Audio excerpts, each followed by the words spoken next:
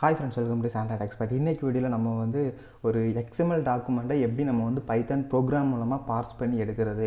ஒரு எக்ஸ்எம்எல் இருக்கிற கண்டென்ட்லாம் எப்படி ரீட் பண்ணுறது அப்படிங்கிற பற்றி தான் பார்க்க போகிறோம் லாஸ்ட் டூ வீடியோஸில் வந்து ஒரு எக்ஸ்எம்எல் ஃபைலை நம்ம எப்படி கிரியேட் பண்ணுறது அப்படிங்கிறத பற்றி பார்த்துருந்தோம். ஸோ இந்த வீடியோவில் அந்த கிரியேட் பண்ண எக்ஸ்எம்எல் இருக்கிற டேட்டாவை எப்படி ரீட் பண்ணலாம் அப்படிங்கிறத பற்றி பார்க்கலாம். அதுக்கு முன்னாடி நீங்கள் இன்னும் நம்ம சேனலை சப்ஸ்கிரைப் பண்ணலைன்னா இப்போவே கீழே இருக்கிற red colour subscribe button click பண்ணி சப்ஸ்கிரைப் பண்ணிடுங்க அப்படியே பக்கத்தில் ஒரு பெல் ஐக்கான் வரும் அதையும் கிளிக் பண்ணிடுங்க அப்படின்னா தான் நம்ம போகிற ஒவ்வொரு வீடியோட அப்டேட்டும் உங்களுக்கு வந்துகிட்டே இருக்கும். ஸோ இப்போ நம்மளுடைய எக்ஸ்எம்எல் வந்து நான் உங்களுக்கு காமிச்சிடுறேன். ஸோ இதுதான் இப்போ நமக்கு இருக்கிற எக்ஸ்எம்எல் ஸோ இப்போ இந்த எக்ஸ்எம்எல் தான் நான் வந்து பைத்தான் மூலமாக ரீட் பண்ணி இங்கே இருக்கிற ஒவ்வொரு ஆட்ரிபியூட்டாக இருந்தாலும் சரி வேல்யூவாக இருந்தாலும் சரி நான் வந்து பைத்தன்லேருந்து நான் வந்து எடுக்க போகிறேன் ஸோ அதை எப்படி எடுக்கிறேன் அப்படிங்கிறத பாருங்கள் ஸோ நம்ம வந்து ஒரு விஷயம் ஞாபகம் வச்சுக்க வேண்டியது என்னென்னா நம்ம எக்ஸ்எம்எல் க்ரியேட் பண்ணும்போது நமக்கு தேவையான எக்ஸ்எம்எல் க்ரியேட் பண்ணிவிட்டு ஃபைனலாக டூ ஸ்ட்ரிங் அப்படின்னு சொல்லி கொடுப்போம். ஸோ அதே போல் இங்கே வந்து நம்ம என்ன பண்ணுவோம் அப்படின்னு சொல்லி பார்த்தீங்கன்னா ஒரு எக்ஸ்எம்எல் வந்து நம்ம ரீட் பண்ணுறதுக்காக ஸோ ஒரு எக்ஸாம்பிள் ரீட் பண்ணுறதுக்காக நம்ம வந்து பார்ஸ் அப்படிங்கிறத யூஸ் பண்ணுவோம். ஸோ அதை எப்படி யூஸ் பண்ணுறேன்னு பாருங்கள் நமக்கு வந்து இந்த எக்ஸாம்பிள் வந்து ரூட் டேக் அப்படிங்கிறத நமக்கு வந்து மெயினாக சொல்லுவாங்க. ஸோ நான் வந்து ரூட் அப்படிங்கிற ஒரு வேரியபிள் நேம் எடுத்துக்கிறேன். So root equal to ET dot parse of இப்போ நான் எந்த லொக்கேஷன்லேருந்து ரீட் பண்ண போகிறேன் அப்படிங்கிறத நான் மென்ஷன் பண்ண போகிறேன் ஸோ என்னோட எக்ஸ்எம்எல் ஃபைல் நான் எங்கே வச்சுருக்கிறேன் அப்படின்னு சொல்லி பார்த்தீங்கன்னா ஸோ நான் கரண்ட்டாக இருக்கிற பி பிஐ நம்ம கரண்ட்டாக எந்த லொக்கேஷன் எந்த டேரக்டரியில் இருக்கும் அப்படிங்கிறத நான் வந்து எடுத்துக்கிறேன். ஸோ நீங்கள் இதை கூட இப்படி கூட எடுக்கலாம் ஓஎஸ் பேக்கேஜில் நான் ஆல்ரெடி உங்களுக்கு சொல்லவும் செஞ்சுருக்கிறேன். ஓகே நான் இப்போ வந்து கரண்ட்டாக யூசர்ஸ் விஜய் கே அப்படிங்கிற ஒரு ஃபோல்டரில் நான் வந்து இருக்கிறேன். ஸோ நான் என்ன பண்ணிக்கிறேன்னா root equal to et dot parse of seed colon slash slash users slash slash vijay slash slash desktop slash slash xml2.xml so இப்போ இதுதான் என்னோடய எக்ஸ்எம்எல் ஃபைலு ஸோ நான் இப்போ இந்த எக்ஸ்எம்எல் ஃபைலை ஓப்பன் பண்ணிடுறேன். ஸோ இப்போ எனக்கு வந்து ரூட்டில் வந்து பார்த்தீங்கன்னா அந்த ஒரு எலமெண்ட்ரி எலமெண்ட்ரியோட ஆப்ஜெக்ட் ஒன்று கிரியேட் ஆயிருக்கு. ஸோ அந்த எலமெண்ட்ரியோட ஆப்ஜெக்ட் அப்படிங்கிறது மீன் பண்ணுறது எதுனா நம்மளுடைய இந்த எக்ஸ்எம்எல் தான். ஸோ இந்த எக்ஸ்எம்எல் தான் நமக்கு வந்து இப்போ வந்து ஒரு எலமெண்ட்ரியாக அந்த ரூட் அப்படிங்கிற அந்த வேரியபிளில் நமக்கு ஸ்டோர் ஆயிருக்கு.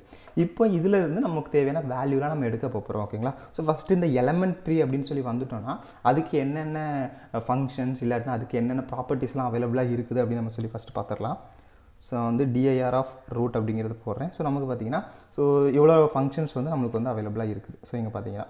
ஸோ இப்போ இதில் தான் நம்ம வந்து ஃபஸ்ட்டு வந்து ஒவ்வொரு இதாக நம்ம வந்து போட போகிறோம் ஓகேங்களா ஒவ்வொரு ஃபங்க்ஷனாக போட்டு பா பார்க்க போகிறோம் ஸோ நான் அதே போல் நம்ம இதில் வந்து நோட் பண்ணிக்க வேண்டியது என்ன அப்படின்னு சொல்லி பார்த்தீங்கன்னா இந்த எக்ஸ்எம்எல் அப்படிங்கிறதும் நம்மளுக்கு வந்து ஒரு இண்டெக்ஸ் பேஸ் பண்ணி தான் நம்மளுக்கு வந்து ஸ்டோர் ஆகிருக்கும் லைக் இப்போ நமக்கு வந்து ரூட் அப்படிங்கிறது சொல்லி இருக்குது இப்போ நான் அந்த இடத்துல என்ன பண்ணலான்னா ரூட் அப்படிங்கிறது நம்மளுக்கு ஒரு எலமெண்ட்ரி இருக்குது. ஸோ நான் வந்து ரூட் ஆஃப் ஜீரோ அப்படி போடுறேன். சாரி ஓகே நான் வந்து ஒரு திங் மிஸ் பண்ணிட்டேன். என்னென்னா நமக்கு இப்போ எலமெண்ட்ரியாக தான் நம்ம வந்து ஸ்டோர் பண்ணியிருக்கிறோம். ஸோ அடுத்தது நம்ம என்ன பண்ணணும்னா அதில் இருக்கிற ரூட் நோட்டை நான் வந்து எடுக்கணும். ஆக்சுவலாக இந்த எக்ஸ்எம்எல் ஃபைல் இருக்குது. ஸோ இந்த XML file oh whole XML file நம்மகிட்ட இப்போ வந்து ஒரு எலமெண்ட்ரியாக ஸ்டோர் ஆகிருக்கு இதிலிருந்து இந்த காலேஜ் அப்படிங்கிற ரூட் நோட்டை நம்ம எடுத்தால் தான் அதுக்கப்புறம் நம்மளுக்கு தேவையான அதுக்கு கீழே இருக்கிற சப் நோட்டில் நம்ம வந்து ப்ராசஸ் பண்ண முடியும். ஸோ அதுக்காக நான் என்ன பண்ணிக்கிறேன் ரூட் அண்டர் ஸ்கோர் நோட் அப்படிங்கிற ஒரு வேரியபிள் எடுத்துக்கிறேன். அதில் root dot get root of அப்படிங்கிறத வந்து எடுத்துக்கிறேன். ஸோ இப்போ இந்த ரூட் அண்டர் ஸ்கோர் நோட் அப்படிங்கிறத உங்களுக்கு வந்து போட்டு காமிக்கிறேன். இதில் வந்து இப்போ ஒரு காலேஜ் அப்படிங்கிற ஒரு எலமெண்ட் வந்து இருக்குது. ஸோ இந்த காலேஜ் அப்படிங்கிறது என்னது? ஸோ நம்முடைய ஹெட் டேக் ஸோ நம்மளுடைய பேரண்ட் டேக்காக இங்கே இருக்கிறத நமக்கு வந்து இந்த காலேஜ் இல்லைனா ரூட் நோட் அப்படின்னு கூட நம்ம வந்து சொல்லிக்கலாம். ஸோ அதான் நமக்கு வந்து காலேஜ் இருக்குது. ஸோ அந்த காலேஜ் அப்படிங்கிறது இந்த ஒரு லொக்கேஷனில் நம்மளுக்கு வந்து இப்போ ஒரு எலமெண்ட்ரியாக இருக்குது. இப்போ இந்த ரூட் நோட் ஸோ இப்போ இந்த ரூட் நோடு வந்து நம்மளுக்கு வந்து ஒரு இண்டெக்ஸ் பேஸ் பண்ணி இருக்கும் ஸோ இப்போ அதில் வந்து உங்களுக்கு வந்து ஃபஸ்ட் இதோட லென்த் என்ன இருக்குது அப்படிங்கிறது காமிச்சிடுறேன். Root underscore node so length of root underscore node பார்த்தீங்கன்னா நமக்கு வந்து த்ரீன்னு சொல்லி வந்துருக்குது. ஏன் இந்த த்ரீ அப்படிங்கிறது சொல்லி நமக்கு வந்திருக்குன்னு சொல்லி பார்த்தீங்கன்னா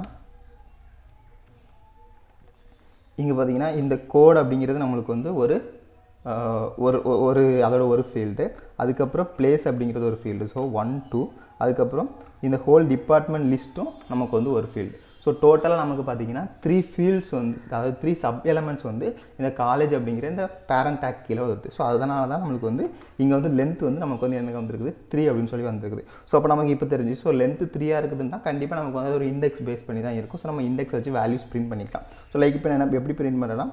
Root underscore node of zero அப்படி சொல்லி பிரிண்ட் பண்ணுறேன் எனக்கு பார்த்தீங்கன்னா ஒரு எலமெண்ட் கோட் அப்படிங்கிற ஒரு இது வந்து க்ரியேட் ஆகிருக்குது ஸோ கோட் அப்படிங்கிறது என்னது? இந்த காலேஜ் அப்படிங்கிற இந்த கோட் ஸோ இப்போ இதோட இப்போ இது வந்து நம்மளுக்கு வந்துருச்சு. ஓகேங்களா அதே போல் ஜீரோ ஒன் ஸோ ஒன்றுனா பார்த்தீங்கன்னா நமக்கு வந்து பிளேஸ்ன்னு சொல்லியிருக்குது. அதே மாதிரி ரூட் நோட் ஆஃப் டூன்னு சொல்லி பார்த்தீங்கன்னா டிபார்ட்மெண்ட் லிஸ்ட்டுன்னு சொல்லியிருக்குது. இப்போ இந்த டிபார்ட்மெண்ட் லிஸ்ட்டுக்குள்ளே நம்மளுக்கு வந்து இன்னும் மல்டிபிள் டேக்ஸ் வந்து இருக்குது ஸோ இப்போ நான் வந்து len of root and root node வந்து uh, செகண்ட் பொசிஷனாக வந்து லென்த்து போடுறேன். ஸோ இங்கே பார்த்தீங்கன்னா நமக்கு வந்து இதோட இதோட லென்த் வந்து ஒன்றுன்னு சொல்லி காமிக்குது. ஸோ ஒன்றுன்னு ஏன் காமிக்குது அப்படின்னா இப்போ இந்த டிபார்ட்மெண்ட் லிஸ்ட் அப்படிங்கிறதுக்கு கீழே டிபார்ட்மெண்ட் அப்படிங்கிற ஒரு சப்டேக் வச்சுருக்கோம் ஸோ நம்மளுக்கு அந்த இது காமிக்குது. ஸோ இப்போ நான் என்ன பண்ணிக்கிறேன்? இந்த இடத்துல அப்போ அது நம்மளுக்கு ஒரு இது இருக்குன்னா அதோட பொசிஷன் ஜீரோவாக இருக்கும். ஸோ நான் வந்து ஜீரோ அப்படிங்கிறத போடுறேன். இப்போ இதோட பொசிஷன் இதோட லென்த்து பார்த்தீங்கன்னா நமக்கு வந்து இன்னும் த்ரீன்னு காமிக்குது. இது ஏன் த்ரீன்னு காமிக்குதுன்னா இந்த ஸ்டூடெண்ட் அப்படிங்கிற டேக் இருக்குது ஸ்டாஃப் அப்படிங்கிற டேக் இருக்குது டிபார்ட்மெண்ட் அப்படிங்கிற கோட் இருக்குது. ஸோ இதே போல் நம்ம வந்து ஒவ்வொரு இதை ஹைட்ரேட் பண்ணி நம்ம வந்து எடுக்கலாம் ஓகேங்களா ஸோ ஓகே நம்ம இப்போ எல்லாமே வந்துட்டு இப்படி ஜீரோ போட்டால் அதில் என்ன வேல்யூ இருக்குது அப்படி இப்படி தான் நம்ம பார்த்துட்டு இருக்கோம். இப்போ ஆக்சுவலாக அங்கே என்ன வேல்யூ இருக்குது அப்படிங்கிறத நம்ம வந்து ஃபைன் பண்ண போகிறோம் ஸோ நம்ம வந்து ரூட் அண்டர் ஸ்கோர் நோடுக்கு திரும்ப போய்க்கலாம். இப்போ இதான் நம்மளுடைய காலேஜ் அப்படிங்கிறது. இப்போ இதில் வந்து பார்த்தீங்கன்னா நமக்கு வந்து டூ டைப்ஸாக இருக்குது. வேல்யூஸ் அப்படின்னு சொல்லி ஒன்று இருக்குது. ஆட்ரிபியூட்ஸ் அப்படின்னு சொல்லி ஒன்று இருக்குது. ஓகேங்களா ஸோ ஆட்ரிபியூட்ஸ் அப்படின்னு நம்ம வந்து எதை சொல்லுவோம் அப்படின்னு சொல்லி பார்த்தீங்கன்னா இப்போ இந்த நேம் ஈக்குவல் டு ஏபிசின்னு சொல்லி இருக்குதுல்ல இதுதான் நமக்கு வந்து ஆட்ரிபியூட்ஸ் ஸோ இப்போ இந்த ஆட்ரிபியூட்ஸை நம்ம எப்படி எடுக்கலாம்? ஸோ இந்த ஆட்ரிபியூட்ஸை நம்மளால் ஃபெச் பண்ண முடியுமான்னு கேட்டிங்கன்னா ஃபெச் பண்ணலாம். ஸோ அது எப்படின்னு சொல்லிடுறேன். Root underscore node dot attrib அப்படின்னு சொல்லி நான் போட்டேன்னா நேம் கோலன் ஏபிசி அப்படிங்கிறது வந்துருச்சு. ஸோ இதுதான் நமக்கு இங்கே இருக்கிற attribute so name equal to ABC அப்படிங்கிற அந்த ஆட்ரிபியூட் தான் நமக்கு இப்போ இங்கே வந்து வந்திருக்குது. அதே போல் இப்போ கோடு அப்படிங்கிறது இருக்குது. ஸோ கோடு கோடு வந்து ஒன் டூ த்ரீ அப்படின்னு சொல்லியிருக்குது. ஸோ அதை எப்படி பிரிண்ட் பண்ணலாம் அப்படின்னு சொல்லி பார்த்தீங்கன்னா ஸோ அதுக்கு வந்து நம்ம வந்து டாட் டெக்ஸ்ட்னு சொல்லி பிரிண்ட் பண்ணோம் ஓகேங்களா இப்போ நான் வந்து என்ன பண்ணிக்கிறேன்? ஸோ இந்த இந்த இடத்துல நமக்கு வேண்டாம். ஸோ ஜீரோ ஸோ நான் வந்து ரூட் நோடில் வந்து ஜீரோ அப்படிங்கிற இடத்துக்கு நான் வந்து டாட் டெக்ஸ்ட் அப்படிங்கிறத போடுறேன் அப்போ எனக்கு வந்து என்ன வருது? இந்த ஒன் டூ த்ரீ அப்படிங்கிறது வருது. ஏன் இந்த ஒன் டூ த்ரீ வருதுன்னா இந்த கோட் அப்படிங்கிறதுக்கு வந்து ஒன் டூ த்ரீ அப்படிங்கிற வேல்யூ வந்து நமக்கு வந்து இருக்குது. அதே போல் நான் இங்கே வந்து ஒன் டாட் டெக்ஸ்ட் அப்படின்னு சொல்லி போட்டேன்னா எனக்கு வந்து சென்னை அப்படிங்கிறது வரும். ஸோ சென்னை அப்படிங்கிறது என்னது நமக்கு?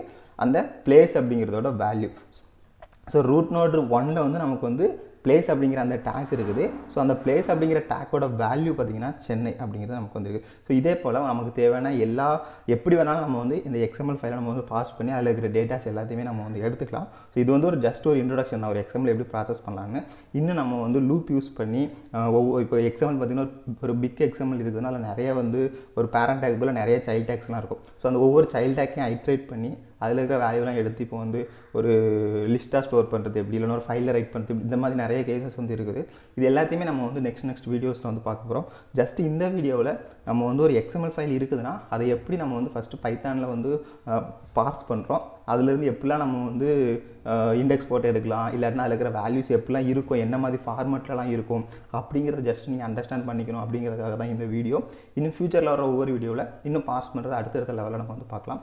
ஸோ கண்டிப்பாக இந்த வீடியோ உங்களுக்கு பிடிச்சிருக்கும்னு நினைக்கிறேன். இந்த வீடியோ பிடிச்சிருந்தா இந்த வீடியோக்கு ஒரு லைக் கொடுங்க. இந்த வீடியோ பற்றின கமெண்ட்ஸாக மறக்காமல் கமெண்ட் சொல்லுங்கள் தேங்க்யூ ஃபார் வாட்சிங்